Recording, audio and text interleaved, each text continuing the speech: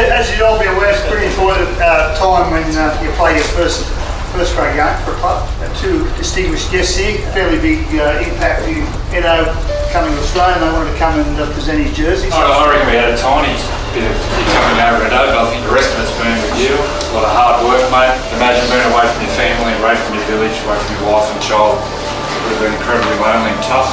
But and Brad are so proud of your efforts. Everyone who knows you loves you. And uh, we just want to say good luck, get that smile out. A lot of people don't know when Eto first came over, we kind of spent about four nights at my house.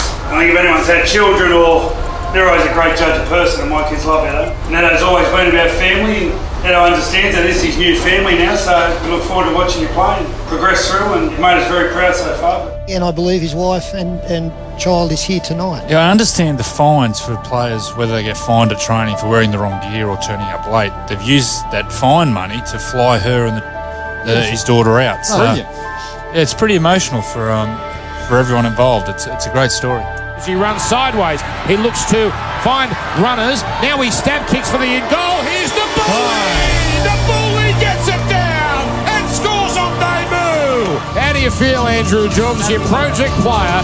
Now forever will have an NRL try to his name. Ah, sensational, isn't it? But every time he gets the ball, you can hear the crowd rising. I think everyone knows the story of Eto, and everyone wants him to succeed. And see him becoming a crowd favourite. Sensational stuff. Great stuff, Eto. Well done. It's fine to have a different story and it's fine to be a crowd favourite, but he's justifying his position in the top grade tonight. He has not put a foot wrong. Scored a try and debut tonight, mate. Congratulations uh, in the Red V.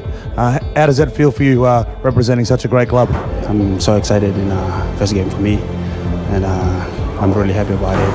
Uh, first uh, grade in uh, debut, and I made a try. Uh, I'm really happy of that. Like, uh, it's quite emotional. I know, like sometimes you leave a lot behind. You left your family behind to come and chase a dream.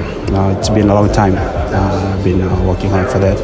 I've been sacrificed, and uh, I want to make it as a part of myself to make it uh, feel proud of the family, uh, and. Uh, Well, I've got no doubt that people uh, back in Fiji at your village, they'll be very proud of you, uh, mate, yourself. Uh, people get excited when you get the ball. How does that make you feel? yeah, yeah, man.